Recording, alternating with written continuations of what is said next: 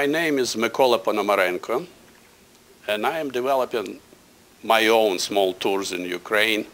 Uh, so uh, what are my favorite places in Ukraine? First of all, uh, I have to give a little bit background uh, what I consider uh, the most favorite for me. That's something that I'm looking for. I am looking for places that have and give me some cultural um, aspect of Ukraine, especially uh, uh, in your ancient of your ancient history, uh, in that other sources of Ukrainian culture that bring to present day those roots of Ukrainian soul. So that's the places I'm looking for. And among those places, the first comes to mind places of Trypillian culture. And that's where I started. I started with Trypillian culture. Uh, so where do you go to see Trypillian culture?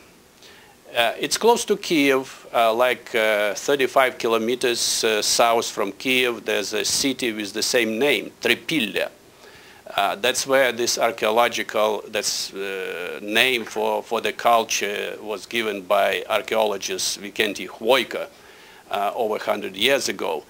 Uh, that place has two museums of Trypillian culture and also unbelievable views and other places of ancient history of Ukraine, like, for example, Devich Hora, Devich Hora, the, where were the uh, pagan uh, worshippers of uh, uh used that place for, uh, for their, you know, ceremonies.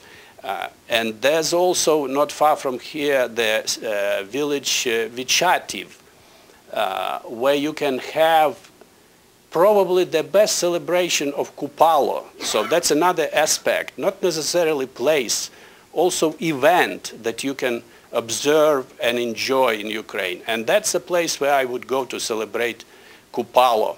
Uh, uh, village uh, Vichativ, not far from Trypillia, where actually the Ukrainian writer uh, Berdnik established an uh, organization that uh, tried to bring all uh, traditions to life and people still meet there.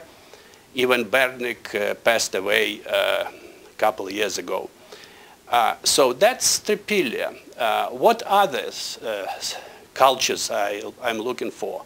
That's Scythians, naturally. And uh, if you talk about Scythians, comes to mind the place where the ancient capital of Scythia was, the ancient Gelon, which is only uh, like 50 kilometers north from city Poltava. Now it's called village Bilske. You can find there uh, 34 kilometers of fortifications of Scythian uh, ancient capital, which nobody knows about. And it's so amazing to find this and uh, see the uh, remains of uh, ancient battles of Scythians, the kurgans, uh, to see the history of war with uh, Dari of Persia and so forth. naturally, Poltava. Poltava is a cultural heart of Ukraine and I love it. Uh, and it's also my uh, city where I was born. Uh, well, then uh, if we go, I'll give a couple more places related to Trypillian culture in western Ukraine.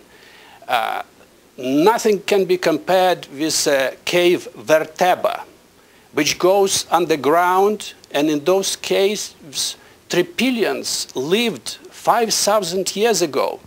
But after them, many other civilizations as well, including even the Second World War, people were hiding there. And it's so hidden that very difficult to find it without uh, the archaeologist. But when you go in there, uh, it's amazing. Uh, it goes for uh, hundreds of kilometers underground and you can see uh, artifacts of that life thousand and thousand years ago and naturally uh, Borshchiv, nearby city, where the Museum of Trypillia, and you can see that as well. And final, uh, maybe I said uh, Kamenets-Podilsky, which is a, uh, very picturesque uh, castle and uh, historical place of the Cossacks' time and war between Poland and Cossacks and so forth. So I could go forever, but um, that probably would be places to start for you.